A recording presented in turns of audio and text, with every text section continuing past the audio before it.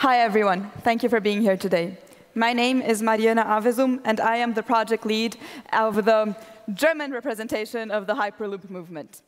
We at the Technical University of Munich are currently working on a prototype to build possibly one of the first Hyperloop prototype pods out there. Um, so, okay, sorry. Um, by now, everybody here already knows what is the Hyperloop, so I'm not going to spend so, mu so much time working on that. Uh, but I will explain the difference between what we are doing and what uh, HTT is doing with their amazing, great team. Um, as everybody knows, the Hyperloop was announced back in 2013 by Elon Musk. Um, the thing of it is, the guy really has way too much to do already in his hands. So not only are there many companies um, a few companies working on it. Last year in June, he started a student competition worldwide to basically see how many students had way too much time on their hands and could come up with a prototype.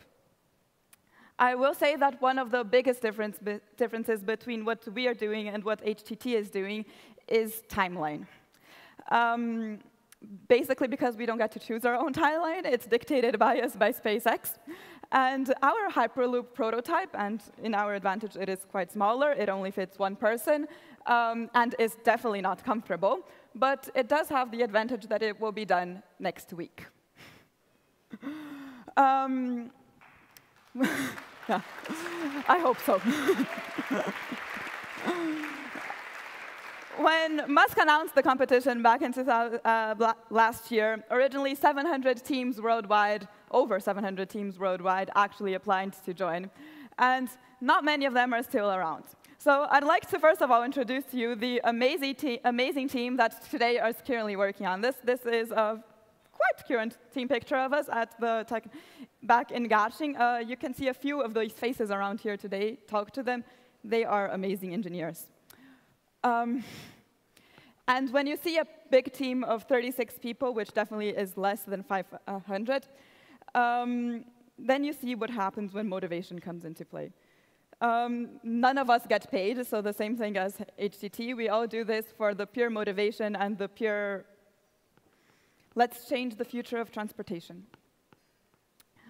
Um, but this is no easy task. Um, and it actually started not that long ago. Um, the team started actually in September. Um, and it took us basically two months to get an initial team together. And in November, we had a concept of how the Hyperloop could look like. Um, magnetic levitation, as uh, most uh, people are using today. Um, a compressor that, of course, was absolutely going to be both cheap, light, buildable, and unrealistic. when you start to crunch into the numbers and try to get something a bit more realistic, cost and weight really easily go up really fast. Um, by the time we had a detailed design in January, when we presented our, our concept to SpaceX, um, the cost had uh, more than four-folded. And I actually stood up in front of SpaceX, and I actually said we could build that in a few months, which, of course, was just students dreaming. But you know what? It worked out. Today, uh, from the 700 people that uh, currently apply to the team, to the competition, today only 30 teams worldwide are actually building a prototype. Two of them in Europe. Um, and then the real challenge began. We had a few months to come up with money, because when you uh, because you do need to buy hardware at some point, and come up with a design that would actually work and could actually be feasible in our very short timeline. Um, the image that you see there on the right is our current uh, prototype that I am very happy to say is not really, is not just a rendering anymore, but can actually start, actually has something very similar to it sitting around in our workshop. At 600 kilos and 340,000 euros, um, it's not the coolest compressor. It is not the fastest Hyperloop in the competition. I will say that it is possibly the most scalable. and it's actually quite done. It's quite done. Um, and quite is a very important word. Um, here you have a photo of the compressor that we actually were able to buy because you can't uh, build a compressor in a few months, so we bought one um, from an old Alpha jet engine. Um, we are now in the process of finalizing our construction, uh, which will take place in the next few weeks. And then we have testing, testing, testing, testing, testing, testing to do until we can actually fly this thing over uh, next fall, in the next few months, to LA, and where all the teams will compete against each other.